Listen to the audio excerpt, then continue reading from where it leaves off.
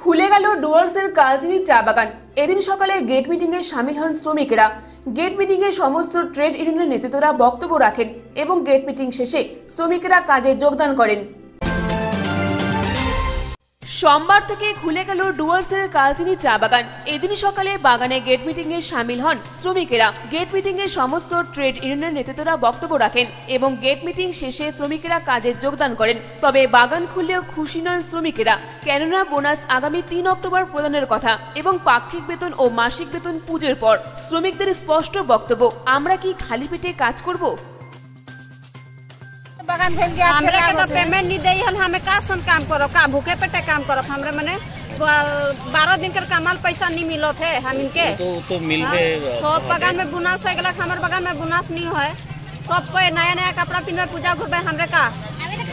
तो बोनस तो तीन तारीख हुआ था ना? हो। थे तो किसन लाग लगा मैंने मैंने बंद ठीक है ना खुला ठीक है खुला ठीक है तो भूखा पेटे कोई काम करी? हाँ। हाँ? तो क्या